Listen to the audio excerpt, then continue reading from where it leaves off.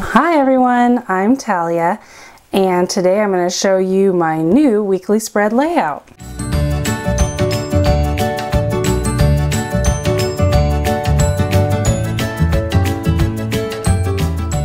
So my weekly spread is probably the most um, evolving spread I have going at this point. My monthlies, if they vary, it's very minor, and my dailies, same story.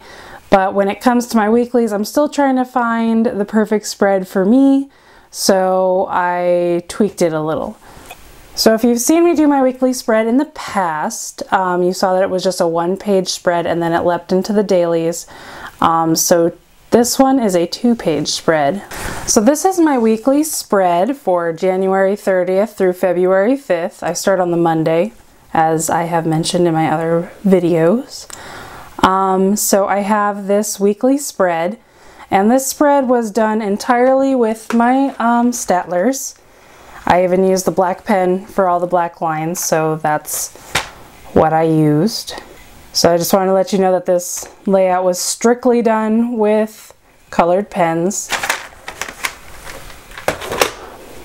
Okay, so my weekly spread used to look lot, a lot like just this page.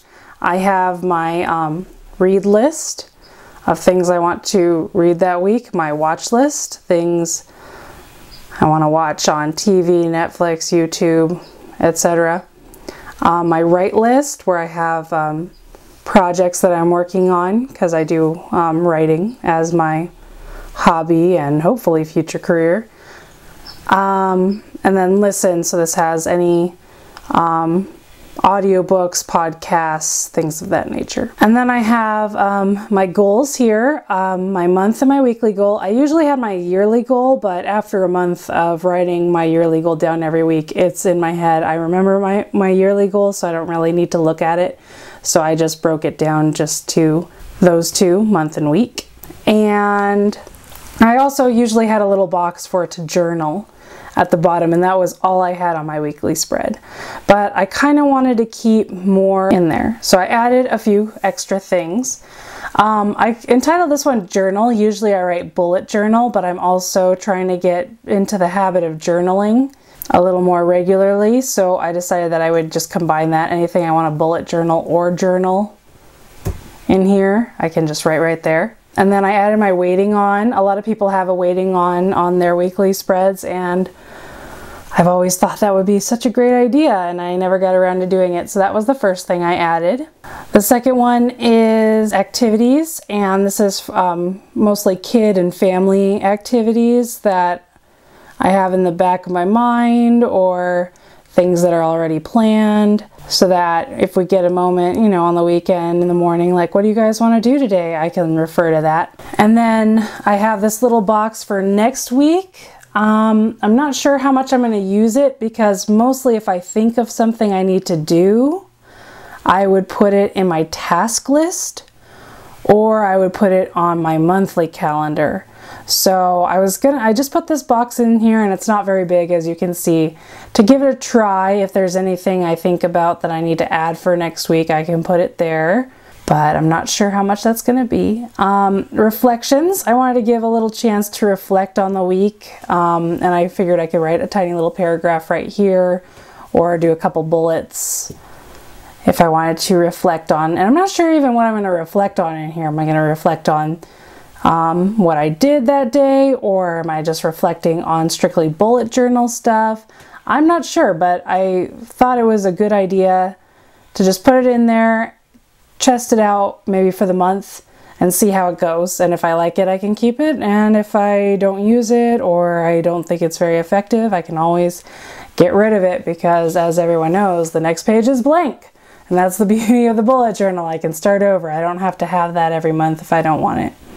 And finally, I have a little page for notes in case there's something extra because maybe I'll think of something else that would have been nice to have on here or maybe there's something that's something bonus that I want to keep track of. Now with this new weekly spread, my goal was to have a sort of command center for me to keep all of my ideas because I have small kids right now and If you don't have small kids, I know it's kind of hard to understand, like why do you need to write down what books you want to read and what you want to watch, but I swear to you, it'll fry your brain so fast. I need my own list for getting into the car. So since my brain is usually working on that, this is just to keep everything that I might want to do that week on one page. So if I catch a moment, then I can do that. Okay, so that was my weekly spread for the first week of February, and I'm really excited to try it. And I'd love to know what kind of things you guys track in a weekly spread because I'm not used to a two page spread, so I do have room and I can make these smaller or bigger accordingly. So, what kind of things do you like to track on a weekly spread? Also, I'm going to try to include in this post a poll, and if I was successful, then you are hearing this and seeing the poll appear abo above you. Um, I was thinking about switching my posts from Thursday to Friday, and I want to know what you, my lovely subscribers and viewers, think. So if you think that you want me to post on Thursdays because you like having it on Thursdays so that it's already ready, Friday morning, then go ahead and click Thursday. Or if you say, hey, a lot of people post on Fridays and that's when my time is, so why don't you just post it then and I can binge watch my favorite bullet journal videos, then go ahead and click Friday. I gotta say thank you all so much for watching my videos. I love having you guys watch my videos and I'm hoping that they're helping you become more productive, more organized, because that is the goal of the bullet journal. It's also very therapeutic for me, but I mostly do it to stay organized and have a place for my brain to be stored. So if you have any questions, comments, please feel free to leave them below because I love responding to you guys. And thank you all so much for watching. Goodbye.